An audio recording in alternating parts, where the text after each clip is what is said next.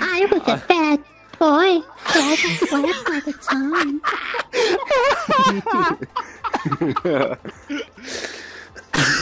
Okay. So, you want to become a big VR chat streamer like Ladle, Rufflegator, and even Lolathon.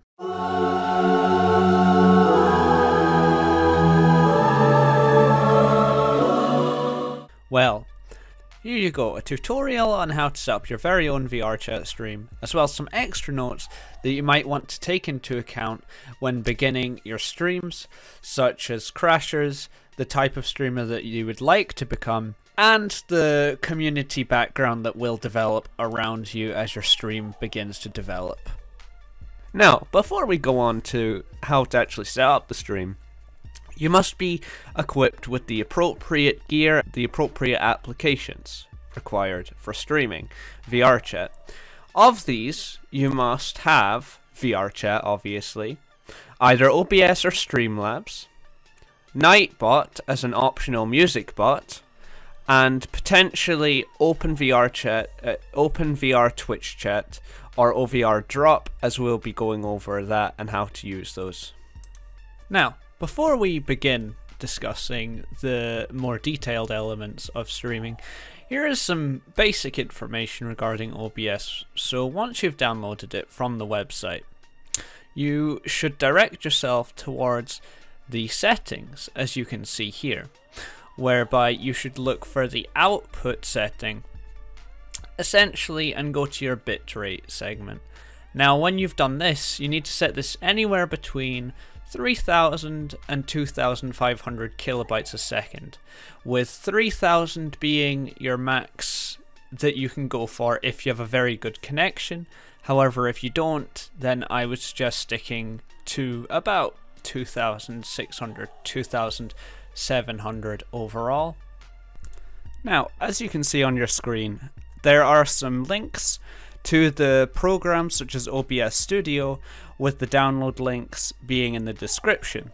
Additionally, there are Streamlabs, as you can see, which is another streaming software which I would also recommend using if you want a slightly more streamlined software, however, that is entirely up to you. This next one is Nightbot.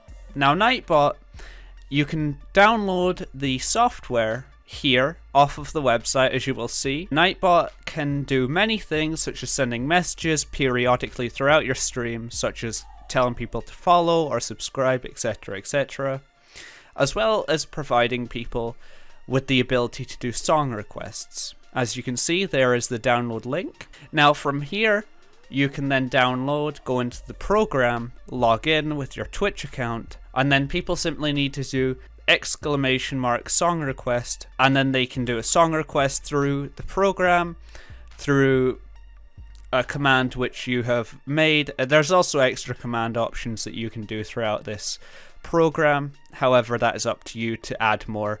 This comes with monster with Monstercat songs which will play on loop as an auto playlist during your streams as this provides increased activity for your viewers even when not much is actually going on during stream.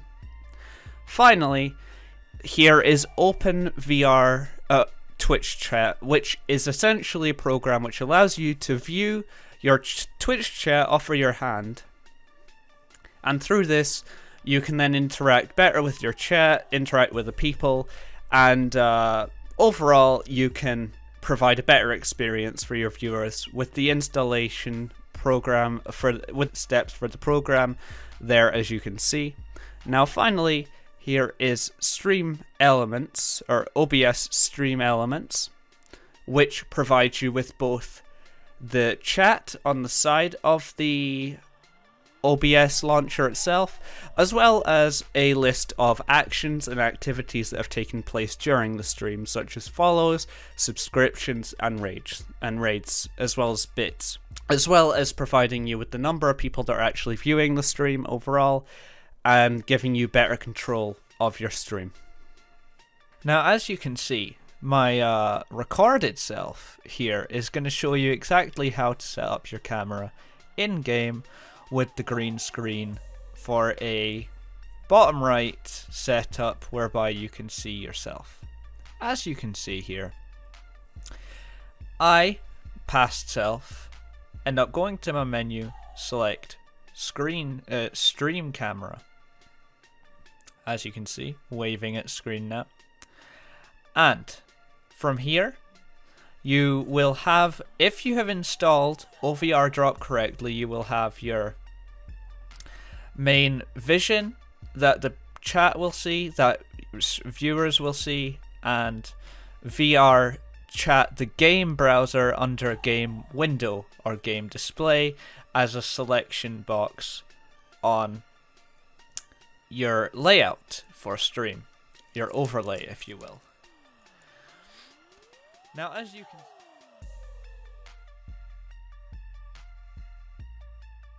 As you can see, I am going to show you all the different modes here of camera modes. So, you have the different modes, which is where you have your stationary camera, whereby it stays in place in a position but moves with you. So as you can see, I hold it in place, so it moves. But as I move back, it ends up coming with me.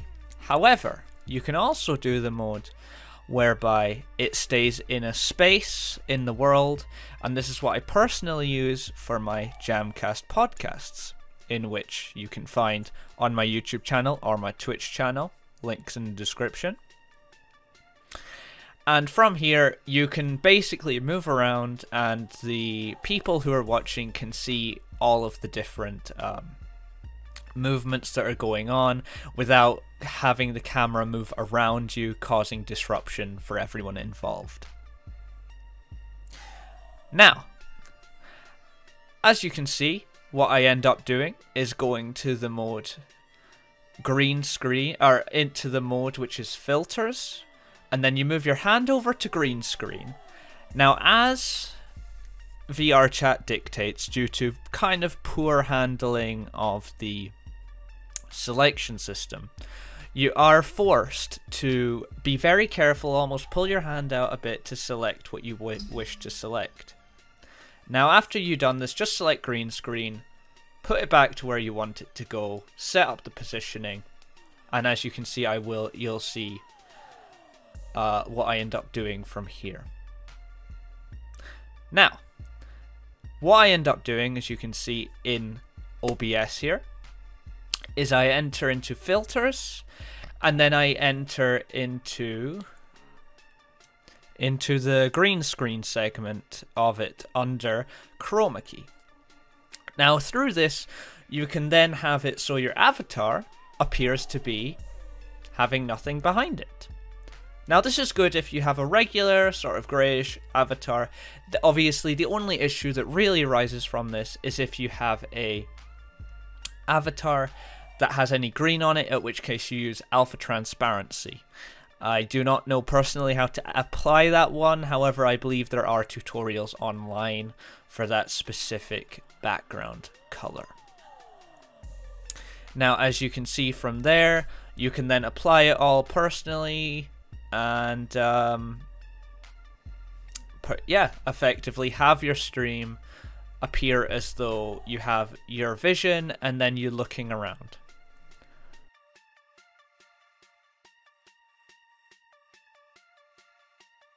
Now to the second aspect, the type of monitor and screen that you're going to have. So is it going to be portrait, landscape, etc. Now, this can be quite a big decision for some streamers as it may vary depending on what type of stream that they would like to portray, if it's talking to your stream directly a lot or moving around with your camera, and you want to have a lot of vision on your avatar itself. Streamers that use this include, uh, well, Ladle for one, as a major player. However, if you're looking for inspiration for the more bottom right screen with uh, your avatar in the bottom, that would be someone like Lolathon.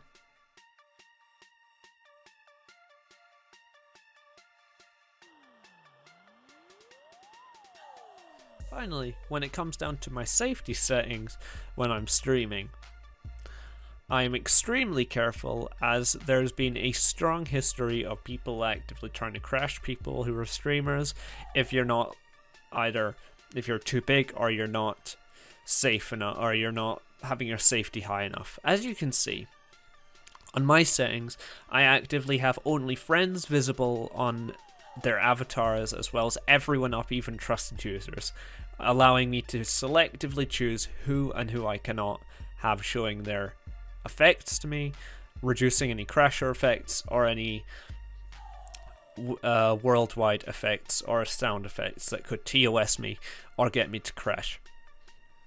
Additionally, all my visitor settings, when I, especially when I enter public worlds, is set so that I, in some ways, very restricts, very much restricts them as I actively block any communication with them or any potential seeing of their avatar altogether.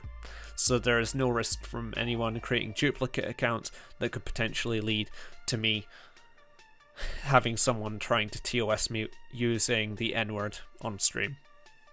If you find any friends who you feel like would be okay to have their avatar showing on it on stream, you obviously just click on their avatar, however, and then just say show avatar fully. So if you trust them and you allow them to come onto your stream like that, you can then enable for their um, avatar to appear for everyone to see on your stream.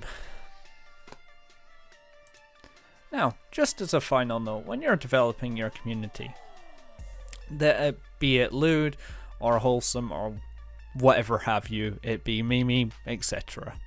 The type of people that will come to your stream are based around the persona that you put out there.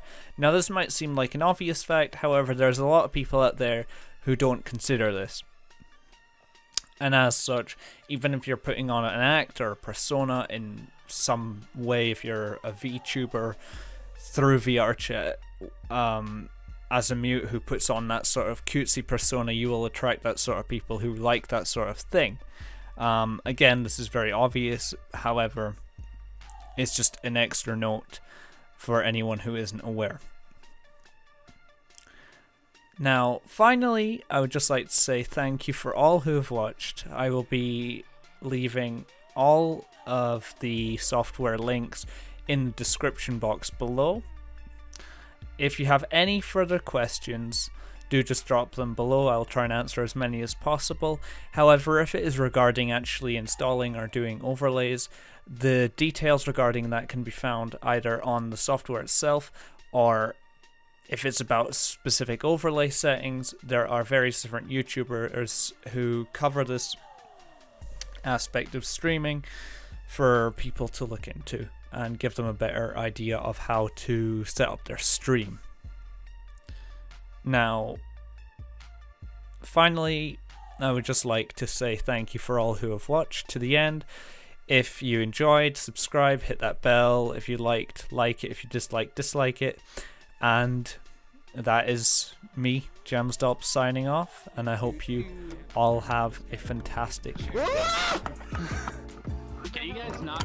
Can you guys elevator, please? exit, please? Okay.